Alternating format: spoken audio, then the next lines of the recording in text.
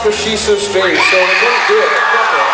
We're to do a couple of more songs, right? It's like, because we don't, you know, we don't play it often enough to sort of, you know. We'll do a couple of slow ones, eh? Just to kind of... If we balls this up, because this is unrehearsed and not been played for like about five years. Andy. Andy. G. Then G. Yeah.